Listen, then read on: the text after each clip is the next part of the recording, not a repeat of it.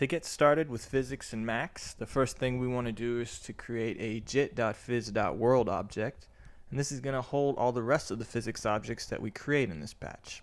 The most basic object that we're going to add to our world is the jit.phys.body object. Body in that name stands for rigid body, so this is a rigid body in a physics simulation. The rigid body is going to live in this physics world and be acted upon by the forces in the world, we need to update the world simulation by sending it a bang and then query the position attribute of the phys body to get the current position of the rigid body in the world. We can create a metro object to bang the physics world, thereby updating the simulation at a regular rate. Once we turn it on, we can see the y position value of the rigid body change as the body falls from the origin to the floor of the world box.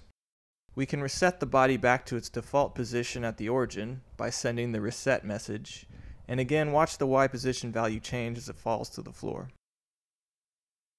Let's visualize this Y position value using a slider. First we need to remap the value, so let's use a scale object.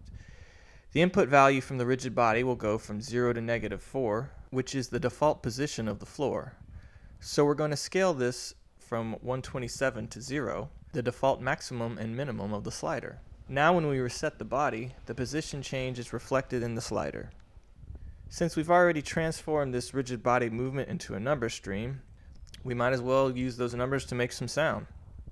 So we're going to map the Y value of the rigid body to the frequency value of the sawtooth oscillator, and the X value we're going to map to the left and right panning for a stereo effect. Turn on the audio, increase the gain slider, and listen to the rigid body fall.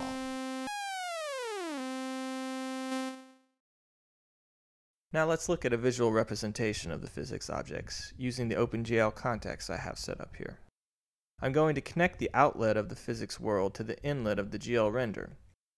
This will allow the render context to update the phys world automatically. The easiest way to see our physics objects is to create a jit.gl.physdraw object. This is basically a convenience object and will draw a very simple representation of all the objects currently in our phys world.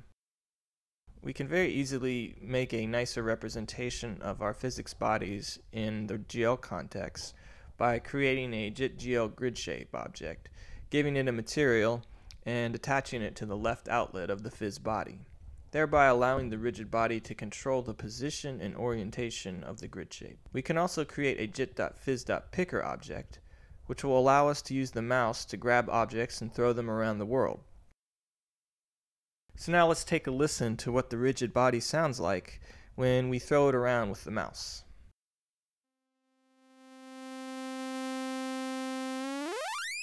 So we can hear the pitch change with the Y position of the body, and we can hear the X position change the left and right panning.